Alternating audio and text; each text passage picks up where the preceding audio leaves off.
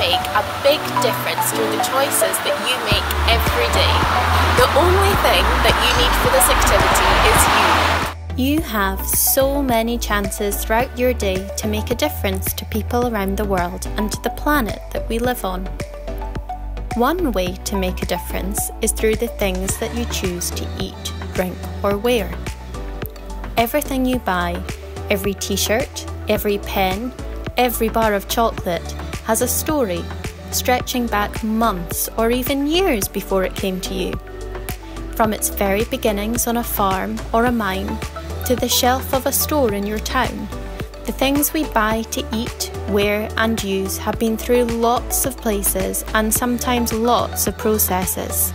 At every step of the way, there are people.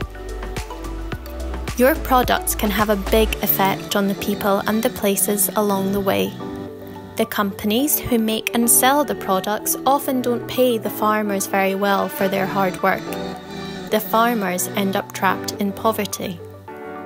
These companies will try harder with their farmers if they think their consumers, that's you, care about the farmers and their lives. Choosing products that have been produced giving farmers a better deal is a way that you can choose to change the world. So, buying fair trade products is one way to make a huge difference in the world, but how else can you change the world through your choices? Today I'm in Cupar, a fair trade town in Scotland, and I'm going to meet some amazing change makers to help get some ideas. Our family is really concerned about all the chemicals going into the air, so I've been researching ways to stop it. One of the ways is to grow organically.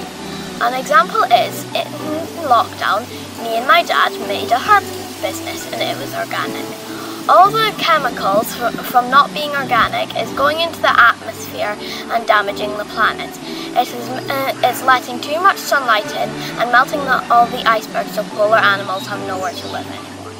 I've decided I'm going to try reuse that rubbish. Like I could make a plastic bottle into a bird feeder to help the birds and I could change leftover cardboard boxes into games like this one.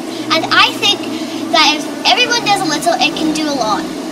Hi, me and my family really like the ocean, so we've decided to cut down on plastic as much as we can. When we do use plastic and we can't recycle them, we put them into big bottles like this, so we, when they go to landfill, they don't blow away into the ocean and animals don't get hurt.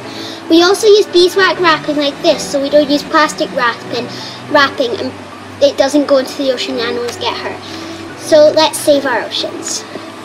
I wear fair trade school uniform because I think the Indian cotton farmers that make it should be paid properly to feed their family and themselves, also to buy medicine and clothes. I think we should encourage people to buy more fair trade items. The quality of the cardigans the cotton farmers produce is also very good and lasts a very long time. Even teachers wear them. If we all work together to make choices that help both people and planet, we can change the world for the better. Thank you for watching.